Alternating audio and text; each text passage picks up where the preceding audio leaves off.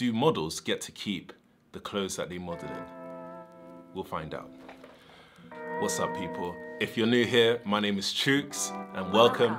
If you're a returning customer, welcome back. Let's just get right into the story time.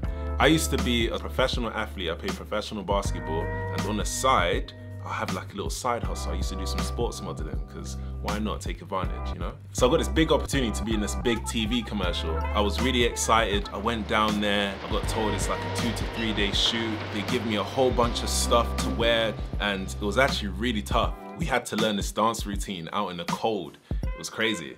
So I'm working the whole day, doing my dance routine, you know what I mean, getting it off. And at the end of the day, this lady comes with a clipboard and it's like, um, you need to return all the clothes. And, and she has like a list all the clothes that they've given us. I'm like, damn, that's crazy. So I'm taking off all the clothes and I'm thinking, surely they don't want my socks.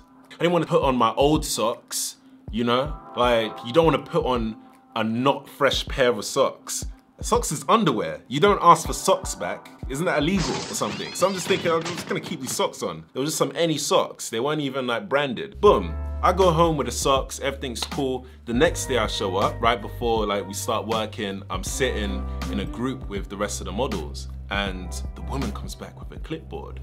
Thinking, why is she coming over here? She comes up to me and says, you need to give back the socks. Yeah, I'm looking around like, wait, what? Socks. Like, yeah, you didn't give back the socks yesterday. I'm thinking, oh man, if I knew, I would have just gave them back. I didn't know they wanted them back. Do you know what I mean? And, you know, I could feel it getting like this weird awkwardness in the air, you know? And uh, this one guy just tries to break the tension with a joke. And he's like, oh, man like double S. I'm like, what? He's like, yeah, sock stealer.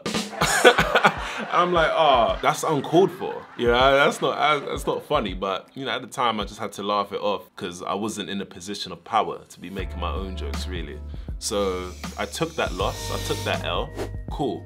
So it comes to the end of the day and I need to go, but I don't want to miss the last train. So I go back to the area where we all left our stuff and the double S joke guy is there. He's there with the woman with the clipboard saying, oh, I, I don't know where my shoe is. They look at me, I'm just thinking like, they think it's me, isn't it? They must think I've upgraded my criminal activities to the level of shoe stealer. You know, I just want to leave there, but I don't want them to think that I'm leaving in a rush because I stole man's shoe. So I kind of just be like, oh, wow, what, where is it? Oh, where's your shoe, man? Oh, where'd you last leave it? You know them questions, eh, you know, them useless questions. Where did you last see it? They, they're looking at me suspicious, so I just kind of like open my bag and like, oh look, you can check my bag. Like, maybe it got in there somehow. No, and they're like, oh no, no, no, it's okay, whatever. I'm like, okay, cool, boom, dust. Running for the train, rummaging through my bag, trying to look for my ticket. Man, shoe just was in there. I'm thinking, oh, no way. I didn't know what to do. I couldn't really, I didn't want to like go back. So I just, I left that at the entrance, boom, made the train. Um, so long story short, yeah, models you don't usually get to keep the clothes. End of story.